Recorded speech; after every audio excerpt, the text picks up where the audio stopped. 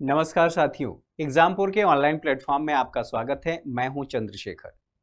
साथियों, Exampur I S channel आप लोगों के लिए हर रोज एक बर्निंग इशू लेकर के आता है और आज के सेशन में, आज के इस बर्निंग इशू के सेशन में हम बात कर रहे हैं अमेजन वर्षा वन के बारे में। अमेजन वर्षा वन के बारे में अगर बात करूँ, अगर इस, इसके विस्तार की बात करूँ तो ये कुल विश्व के नौ देशों में, नौ देशों में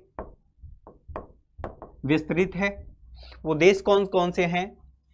Bolivia, Peru, Ecuador, Colombia, Venezuela, Guyana, Suriname, French Guiana और ब्राज़ील।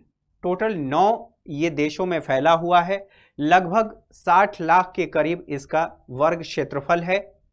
ये दुनिया के, दुनिया में यानी कि पूरे विश्व में 20 प्रतिशत ऑक्सीजन की सप्लाई करता है, यानी कि ऑक्सीजन का उत्पादन करता है, जो मानव जीवन मानव जीवन ही नहीं, सबके लिए ज़रूरी है।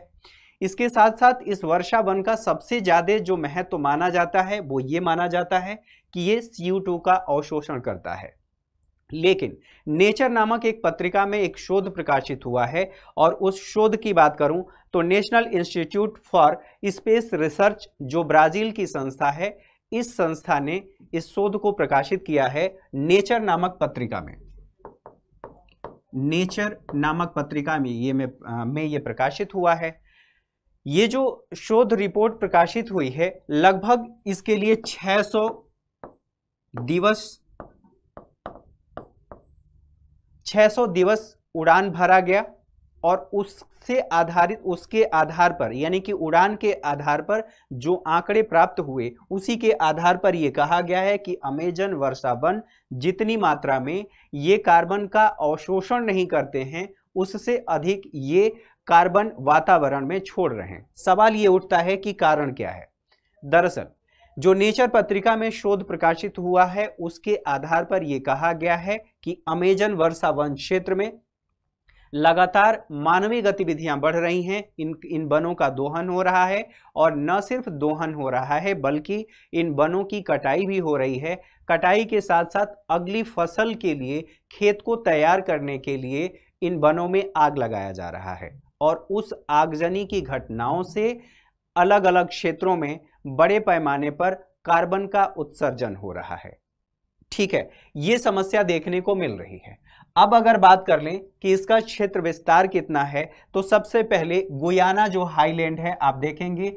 उत्तर में उत्तर में ये गुयाना हाईलैंड तक ये फैला हुआ है।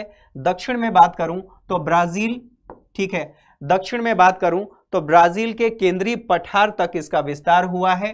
और इधर की बात करूँ मैं यदि पूर्व दिशा की बात करूँ तो पूर्व दिशा में अटलांटिक ओशन तक ये विस्तृत है। इसके साथ साथ पश्चिम में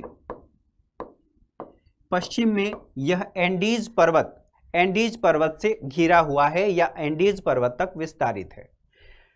अब जो समस्या आ रही है, जो विश्व में सबसे ज़्यादा माना जाता है कि 20 प्रतिशत ये ऑक्सीजन का उत्पादन करता है, अब ऑक्सीजन के बजाय ये जो CO2 का उत्सर्जन कर रहा है, उससे आने वाले समय में बड़े पैमाने पर समस्याएँ हो सकती हैं। तो आज के सेशन में इतना ही। अगले सेशन में फिर मिलेंगे। नमस्कार।